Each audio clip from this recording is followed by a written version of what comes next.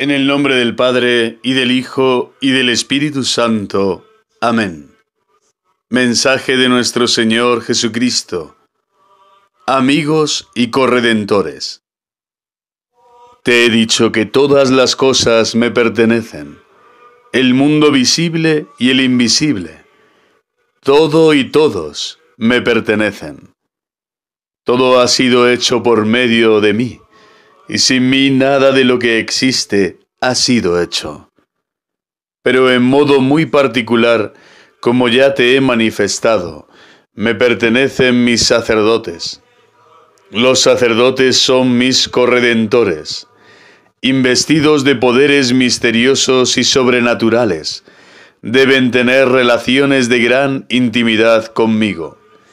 Ya no os llamo siervos, sino amigos Hijo mío, son pocos los sacerdotes que han comprendido el alcance de este don, de mi amistad real. Por tanto, son pocos los sacerdotes conscientemente responsables de la necesaria e insustituible solidaridad de fe y de amor que debe producirse entre mí, Maestro y Salvador, y ellos, mis amigos y corredentores. Son pocos los que han comprendido que entre yo y ellos debe haber un intercambio recíproco de fuerzas y de energías. Yo me doy enteramente a ellos y ellos deberían darse exclusivamente a mí. Si falta este intercambio, absolutamente esencial e insustituible, entonces se tiene la muerte espiritual de mis ministros. Y muerte quiere decir podredumbre que contagia y pierde a las almas. Muchos no parecen darse cuenta de las consecuencias que se derivan de ello. Interrumpida la savia vital, mi ministro, de amigo mío y corredentor, se convierte en aliado de Satanás, se vuelve como un demonio y hace las veces de demonio. La insensibilidad de muchos ministros míos ante el escándalo del rechazo de Dios, ante el escándalo de la apostasía universalizada, la pasividad con la que asisten a la perdición de tantas almas, son verdaderamente heridas lacerantes para mi corazón misericordioso. Tú me dirás que muchos se mueven, se agitan, pero no se mueven en la dirección justa. Si al menos sintieran la necesidad de pedirme su conversión, que no niego a nadie de los que la piden, con sentimiento de fe viva, y de humildad sincera. No me aman. Es bien cierto que no faltan sacerdotes santos, pero son pocos. Faltan expertos confesores y directores espirituales. Hijo mío, podría hacerte comprender a fondo cuántas almas están apenas vivas, van tirando como plantas enfermas amarillean por falta de una iluminada dirección espiritual. Incluso en los conventos, entre las almas consagradas, falta una válida dirección espiritual. Hay almas que si estuvieran bien dirigidas, habrían llegado a los niveles más altos de la santidad. Qui non diligit manet in. Muchos sacerdotes míos están en la muerte porque no me aman, porque no han querido conocerme. San Juan dice, vino a los suyos, pero los suyos no lo recibieron. Pero que no me acojan mis predilectos en su corazón. Esto, hijo mío, es un pecado enorme que se responda al amor con la frialdad y con la injusticia. Es una herida grande que incesantemente se provoca a mi corazón misericordioso. Fui rechazado cuando aún estaba en el seno materno. Continúo siendo arrojado fuera por mis ministros, escogidos con amor infinito. Por dignidad y poder he puesto a mis sacerdotes por encima de las legiones angélicas. Me he confiado a su arbitrio.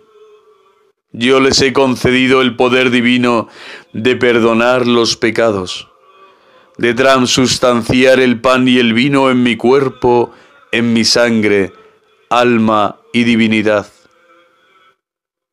¿Quién podría suponer que mi amor llegara a tanto? Hijo mío, ámame mucho para reparar tan monstruosa ingratitud. Dame todo tú mismo, con lo que tienes y lo que eres. Repara, hijo, repara por los innumerables Judas que diariamente me traicionan. Acepta sufrir.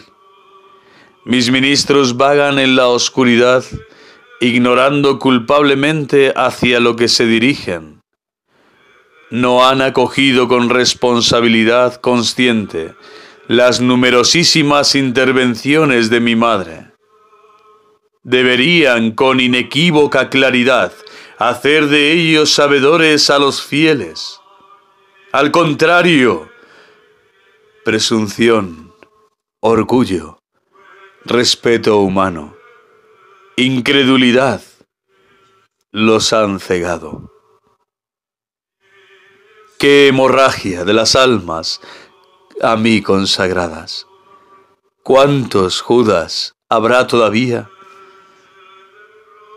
¿Cuánta sangre? ¿Cuánta sangre será derramada? ¿Cuánto tiempo han tenido? ¿A cuántos acontecimientos han asistido? La revolución española, la persecución en los países donde impera el comunismo, no han servido para nada o de muy poco. La crisis de fe ha hecho materialistas a mis sacerdotes hasta tal punto que no pocos incluso han perdido el sentido cristiano de la vida. ¿Cómo pueden estos sacerdotes míos, a quienes quiero salvos a pesar de todo, adiestrar a las almas contra Satanás si ellos se han convertido en el hazme reír de Satanás? Han ignorado las repetidas llamadas de mis vicarios en la tierra. ¿Cómo podrán educar a las almas? Hijo, qué desolación. Reza, repara acepta sufrir por la salvación de estos ministros míos. Te bendigo, hijo mío. Ámame.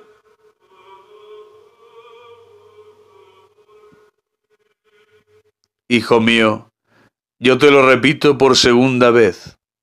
Procura convencerte de ello y no dudar. Cuando rezas, cuando escribes lo que te digo, Satanás hace de todo, no solo para distraerte y disuadirte de tu acción, sino para que tú te impacientes y si lo consigue, ensoberbecerte. Satanás ha pecado por soberbia, en ella está y permanecerá eternamente. Se necesita vencerlo con la virtud opuesta, la humildad. Si tú esta tarde, en lugar de impacientarte, hubieras puesto en práctica con un acto de humildad el callar, aceptar, sufrir y ofrecer, habrías vencido a Satanás con la mortificación de tu yo.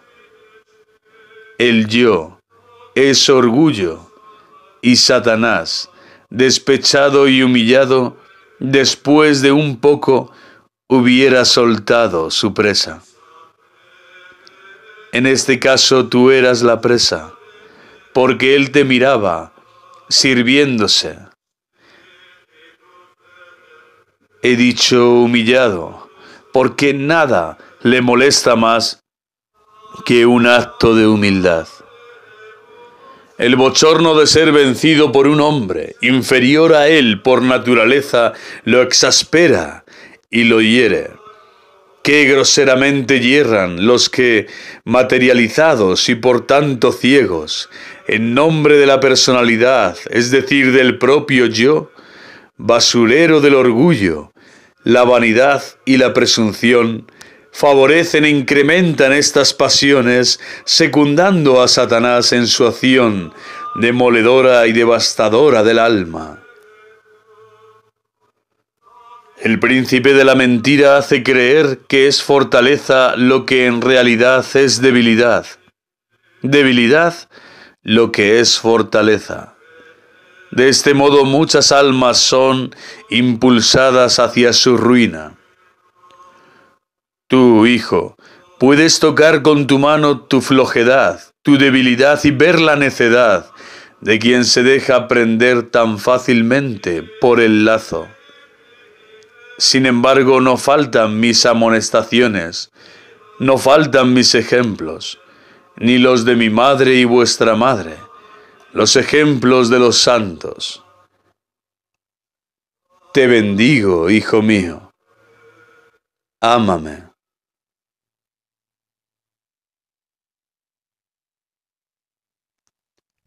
Dominus vobiscum.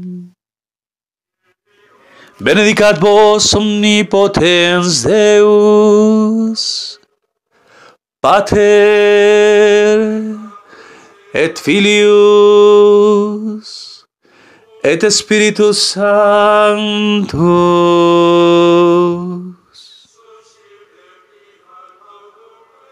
Amen.